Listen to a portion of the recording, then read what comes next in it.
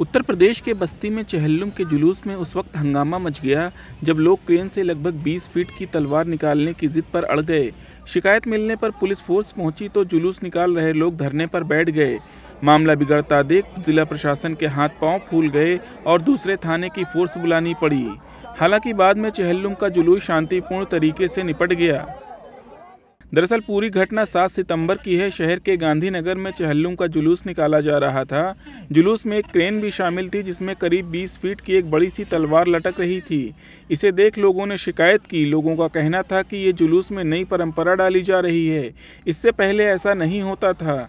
सूचना मिलते ही जिला प्रशासन ने संज्ञान लिया और क्रेन को गांधीनगर बाज़ार में रुकवा दिया, जिसके बाद जुलूस में शामिल लोग धरने पर बैठ गए।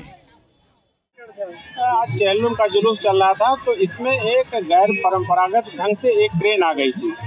और ट्रेन का प्रिजंक्शन ये था कि काफ़ी ऊँची थी और बिजली के तार थे, उससे उसमें करंट आने का खतरा था और लोगों की जान भी जा सकती थी। इसके दृष्टिगत प्रशासन और पुलिस ने मिलकर उस ट्रेन को यहाँ हटवा दिया और उस पर एक तलवार लटकी हुई थी प्रतीकात्मक, जिसको वहाँ हटाकर एक छोटे वाहन को रखवा दिया गया। जुलूस बिल्कुल शांतिपूर्ण ढंग से चल रहा है और किसी प्रकार की कोई समस्या जुलूस में प्रशासन के काफ़ी मान मनौवल पर जुलूस में शामिल लोग समझ गए और क्रेन को जुलूस से हटवा दिया, लेकिन तलवार को जुलूस से अलग नहीं किया।